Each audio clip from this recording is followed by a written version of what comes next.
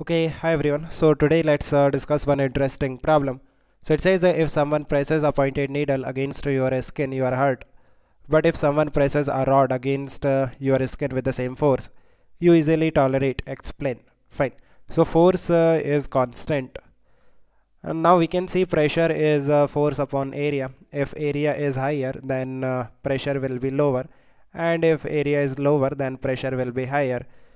So in case of a pointed uh, needle, uh, area of this pointed needle is much lesser than the area of the rod, right? So जो needle का area होता है वो काफ़ी कम होता है as compared to the area of the rod. That's why pressure in case of needle will be much greater than the pressure in case of rod. That's why हमें you know uh, ज़्यादा problem होगा in case of needle because pressure ज़्यादा है. So I think you have understood. Let me know if you still have any confusion. Okay guys, keep working hard. Best of luck. Bye.